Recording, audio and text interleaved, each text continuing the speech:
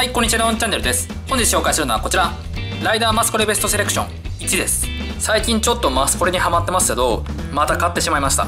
で今回はベストセレクション1なので買ったことがないシリーズですね。ラインナップはこんな感じです。平成組もいいのが揃ってますね。で店頭に1つしかなかったのでこれ1個だけ買ってきました。では早速中身を確認していきたいと思います。ちなみに前回の動画では、このマスコレの対決編を買って、一発でオーズが出ましたからね。今回も狙ったものが1回で出る予感がします。あと、発光台座ね。まだ持ってないんで、発光台座も欲しいですね。このラインナップで欲しいのは、まあ、いい加減ディケードが欲しいのと、それか、シャドウムーンでもいいですね。重みはそこそこあります。では、開けます。何が入ってるかな？まずは台座を出します。よっと、あ、ダメか。発酵じゃないですね。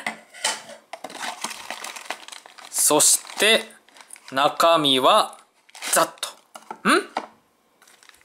なんだろう。X! X! ちょっと開けましょう。はい、中身はこんな感じで結構パーツが入ってます。X も前まで興味がなかったんですけど、あの、ガンバライドカードで X が出てからちょっと気になり始めたんですよね。X メットが硬い。これ触覚がないと完全に敵側ですね。じゃあ触覚をつけて、完成仮面ライダー X です。というわけで、今回は仮面ライダー X でしたね。狙ってた平成ライダーじゃなかったんですけど、まあ、昭和ライダーでも X ならね、いいですよ。J とかよりこっちの方がいいかな。ただ、これ色の塗り方がちゃんと昭和風にしてあるんですね。わざとこうベタ塗りっぽくなってるんですよ。そして複眼が綺麗。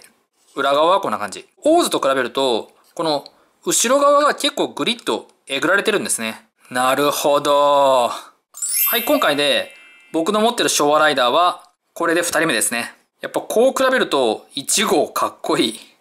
はい、ということで、マスコレベストセレクション1の開封した結果が仮面ライダー X でした。ここまで今のところ被らずに揃ってきてますので、またお店で見かけたら買ってみたいと思います。以上、ライダーマスコレベストセレクションの紹介でした。